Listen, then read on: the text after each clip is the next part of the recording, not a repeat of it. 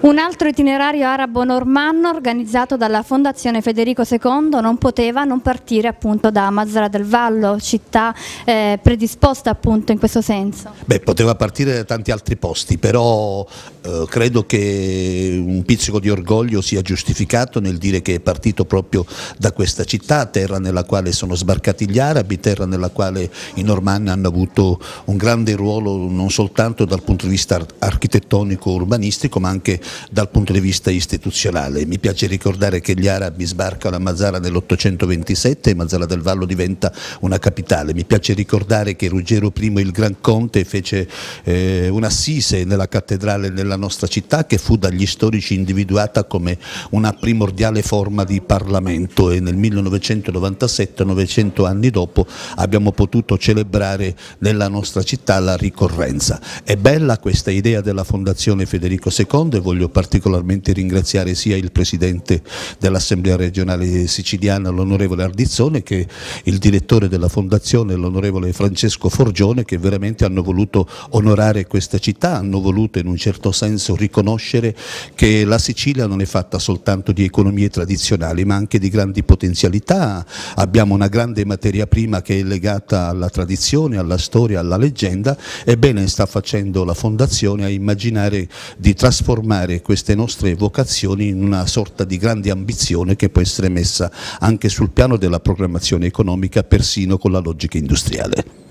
Onorevole, un itinerario questo molto importante che vede anche la possibilità di entrare anche questo a far parte eh, dell'UNESCO come patrimonio internazionale. Ma guardi, c'è la candidatura ufficiale a patrimonio dell'UNESCO che riguarda le cattedrali di Cefalù, Monreale e Palermo. E poi però attorno a questa candidatura, che ormai è l'unica dell'Italia per il 2015, quindi siamo sicuri che verrà riconosciuta, eh, noi crediamo che bisogna valorizzare tutto il patrimonio patrimonio arabo-normanno. E la partenza da qui, da Mazzara, lo diceva prima il vostro sindaco, l'onorevole Cristaldi, non è casuale. E qui non si parla solo della storia, si parla del presente e del futuro quando si pensa alle contaminazioni culturali del Mediterraneo. E poi mi piace ricordare che partiamo da qui anche non per un riconoscimento all'onorevole Cristaldi, ma certo lui la fondazione la conosce bene perché la progettò, la pensò e, in un certo senso è una, è una sua creatura,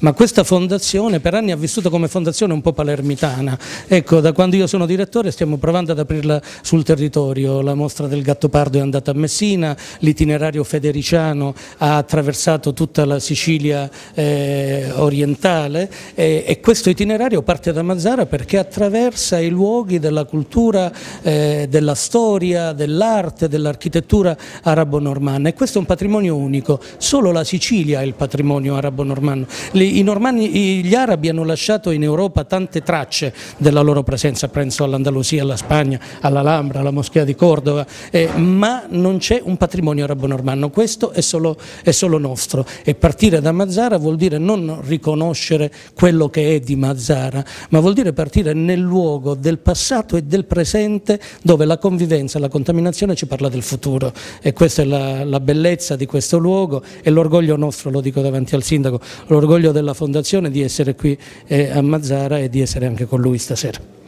Un altro itinerario arabo-normanno passa da Mazzara del Vallo, manifestazione organizzata dalla Fondazione Federico II. Grande importanza quindi dare a Mazzara in questo circuito turistico in tutta la Sicilia. Rivolgiamo un grande applauso alla Fondazione Federico II per la splendida iniziativa nel valorizzare queste due eh, mirabili civiltà, ossia quella araba e quella normanna. Itinerario che parte proprio da Mazzara del Vallo e trova il suo naturale epilogo nella superba Palermo una storia mai sopita, sempre in auge, che tende proprio a creare una sorta di trasfigurazione e rivoluzione nell'ambito nostro territoriale, perché questi territori con queste due civiltà non saranno più visti per l'appunto come avamposto di altre dominazioni, ma eh, troveranno la centralità istituzionale che meritano. Ecco che un popolo senza la sua storia non vive a stento il suo presente e non costruisce alcun futuro. A tutti quindi auguro la visione interpretativa di questi valori, quelli che che afferiscono alle due civiltà arabo-normanna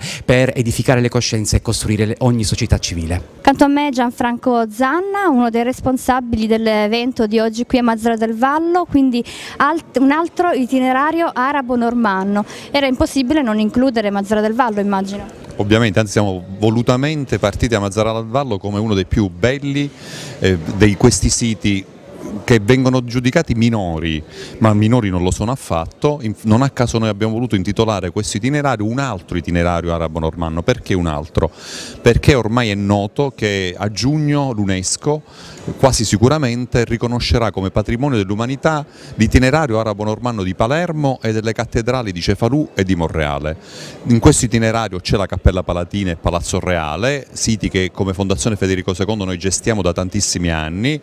come ci permettiamo di dire come siti di eccellenza e come una straordinaria testimonianza della cultura, dell'architettura e dell'arte arabo-normanna appunto, allora abbiamo voluto accendere un, dei riflettori su quel patrimonio che è conservato e tutelato e, che bisogna far conoscere e valorizzare che da Mazzara del Vallo a Castelvetrano a Cefaladiana è un'altra grande preziosità e bellezza della nostra Sicilia. Uno sprint insomma per il turismo anche in questi luoghi? Sì, una promozione anche perché i meccanismi del, dell'UNESCO prevedono che dopo un riconoscimento altri siti si possono aggiungere e per quanto ci riguarda questi siti non hanno nulla di meno che di quelli che avranno sicuramente a giugno il riconoscimento prestigioso da parte dell'UNESCO, quindi noi auspichiamo e vogliamo lavorare perché questi siti, dalla cattedrale di San Nicolò Regale ai bagni di Cefaladiana, eh, a Mare Dolce a Palermo, alla Cuba di Palermo diventino anch'essi patrimonio dell'umanità, come straordinaria eredità del nostro passato ma per scommettere sul futuro di questa splendida nostra isola.